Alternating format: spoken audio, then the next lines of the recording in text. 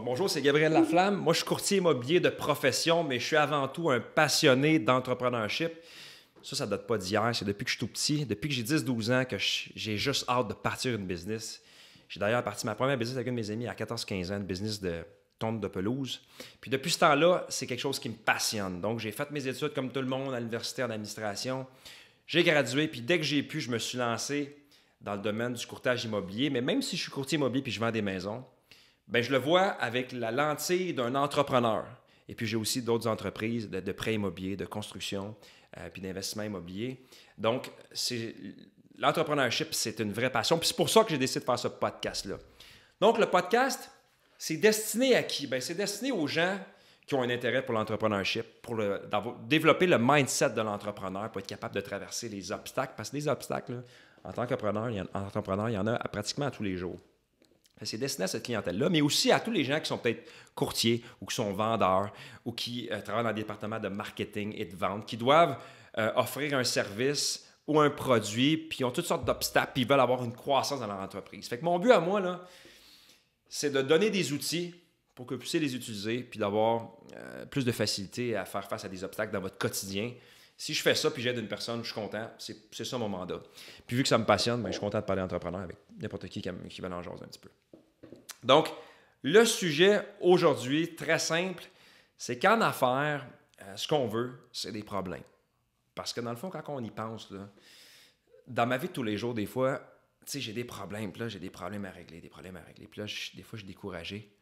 Mais ce qu'il ne faut pas oublier, c'est que c'est exactement ça qu'on veut dans n'importe quel domaine que vous pourrez être.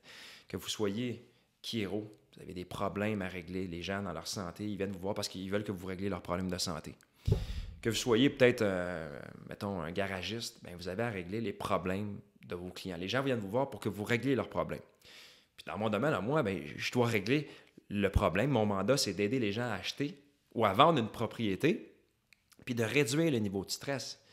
Donc, dans le fond, quand on y pense, plus on règle de problèmes, plus on aide de gens, plus on peut avoir une croissance dans notre entreprise, plus on peut avoir des revenus qui vont rentrer, puis on va avoir une bonne business. Puis c'est un peu contradictoire parce que des fois, on va chercher la facilité, on va chercher ce qui est facile, on va chercher comme un job tranquille. Mais la réalité des entrepreneurs, c'est qu'on en veut des problèmes.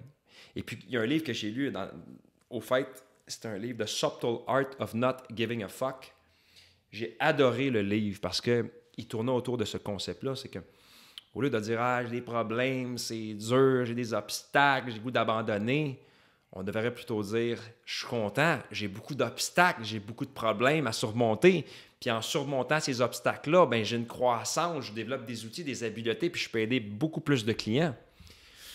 Fait que, dans le fond, pensez-y, quand on commence notre carrière, mettons, vous ouvrez une compagnie, euh, vous commencez, peu importe le domaine. Mettons, vous êtes, euh, je sais pas moi, comptable ou euh, vous avez un salon d'esthétique ou vous partez une business dans la construction. Bien, vos problèmes du début, là, c'est de passer à travers les premiers 12 mois, de survivre aux premiers 12 mois. Ça, c'est votre problème. Le problème de début de démarrage d'entreprise. C'est d'acquérir la confiance, parce qu'au début, on n'a pas de confiance, on a, moins de compétences, d'être à l'aise à parler avec les clients. Mais ça, c'est des problèmes de début, de, démarrage, comme je l'ai dit. Fait fil du temps, dans le fond, vos problèmes sont juste remplacés par des meilleurs problèmes. Fait que c'est pas parce que la business, elle a 10 ans que les problèmes vont s'en aller, ils vont s'envoler. Non, non, il va toujours en avoir, puis on en veut des obstacles. C'est juste que c'est des bien meilleurs problèmes. on va dire, exemple, l'esthéticienne ou le gars qui a une business dans la construction, qui fait des toitures, ou qui est plombier, ou qui est électricien. Ben, cinq ans plus tard, quand sa business est développée, là, ben, c'est plus des problèmes de démarrage, c'est des problèmes de croissance. OK, comment je vais faire cette année pour trouver cinq autres personnes dans mon équipe pour m'aider à servir tous mes clients? Comment est-ce que je vais faire pour répondre beaucoup plus vite à mes clients, puis mes clients soient beaucoup plus satisfaits de mon offre de service? Euh, comment est-ce que je vais faire pour avoir des meilleures publicités plus accrocheuses sur les, différentes, les différents réseaux sociaux? C'est des problèmes qui sont le fun, c'est des problèmes stratégiques, c'est des problèmes de croissance, de gestion, de leadership.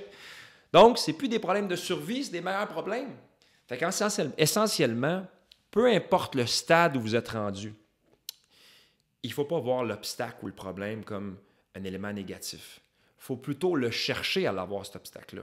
Parce que plus vous allez avoir de difficultés euh, d'obstacles, plus vous allez devoir développer des habiletés pour y faire face. ça va faire de vous une, meilleure femme d'affaires, un meilleur homme d'affaires. Et puis, au fil du temps, d'aller chercher à avoir des meilleurs défis, des meilleurs problèmes. Puis c'est ça la beauté de l'entrepreneurship. C'est pas de s'asseoir puis d'espérer un jour avoir une business avec rien à faire puis plus de problèmes. Mais non, c'est pour ça qu'on est là-dedans, dans l'entrepreneurship. C'est pour ça, là, quand on se couche le soir, l'adrénaline, c'est d'avoir toujours des nouveaux défis. Donc, la morale de l'histoire, je vous souhaite à tous et à toutes d'avoir de merveilleux problèmes, de merveilleux, obstacles à, à faire face. Puis dites-vous une chose, vous avez des obstacles ou des problèmes, il y a pratiquement un livre pour chaque obstacle. Donc, vous avez un problème de gestion de ressources humaines, bien, allez lire sur, des livres sur les ressources humaines. Vous avez un problème de marketing en ligne, bien, consultez Simon Paquin pour votre question de branding et de marketing parce que c'est lui le pro de ça. Vous avez un problème avec euh, votre comptabilité. Bien, vous avez des, des, des, applications pour la comptabilité. vous avez tellement de ressources à votre disposition qu'à chaque fois que vous avez un problème, isolez-le, allez chercher la ressource ou développer l'habileté pour y faire face.